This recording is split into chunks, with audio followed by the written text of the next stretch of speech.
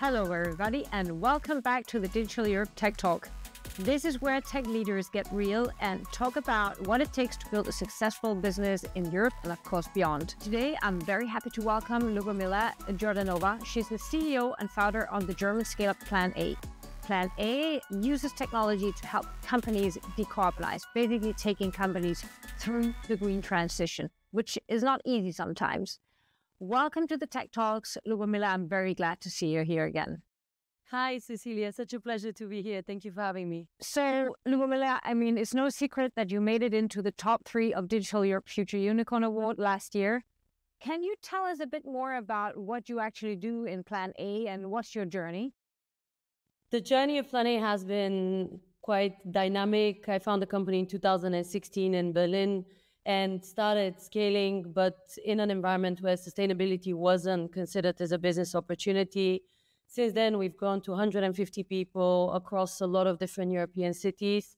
And I can proudly say that I do see technology as a key lever now in the minds of business leaders for decarbonization, ESG reporting, and of course compliance with the EU legislation.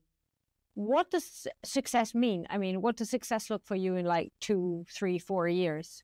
Success in our context means impact uh, at scale. We have been working with supporting businesses across the whole of the EU to decarbonize, to become aware of the importance of sustainability and the opportunity of sustainability being a lever for return on investment so what type of companies are using your your your technologies and can you give like a an example or on how it actually helps their journey towards be, becoming greener the plan a software assesses tens of thousands in some cases hundreds of thousands of data points a month and it gives to a business a prescription on how they can reduce their emissions these are tangible practical suggestions with different activities that, when adopted, can reduce the emissions of a company and make it more sustainable.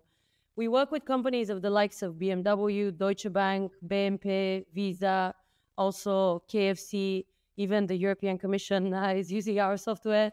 I think we all know that companies are under, you know, immense pressure from governments, from consumers, from uh, from from their clients in general, from banks, you know, investors basically cut the emissions. What do you think? Are they ready for it?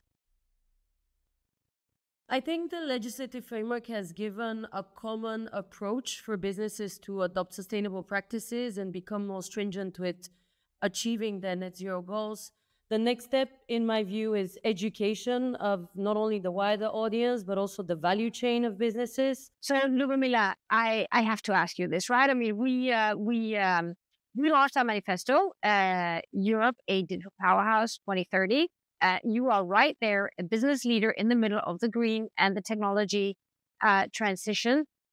Can we get your best take on if two or three things that you would improve to make better conditions for Europe uh, to go through that transformation and to make Europe a digital powerhouse in 2030? First and foremost, I would focus on education on digital. I think we need to understand that technology will be defining for the future, regardless of the jobs, regardless of the industries that we talk about.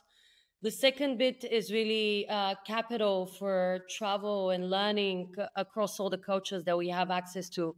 And the final bit is for Europe to understand really the role that it plays on the international scene with technology. I think the innovation that I've seen on the green topic in the last few years since I started the company has been absolutely mind blowing. There's so many incredible solutions. What they simply need is scalability, visibility, and an opportunity to test. Thank you so much. Um, let me round off by saying, um, looking at you, uh, I think you will be one of the big leaders in facilitating the green and digital transformation. Uh, and of course, I'm also happy to see that we actually have, uh, you know, female leaders that are taking, you know, the business route of green and digital. I'm very proud to have you here with Digital Europe today. Uh, thank you so much for your contributions and hope to see you out there growing stronger and bigger uh, day by day. Thank, thank you, Lubomila. Thank you.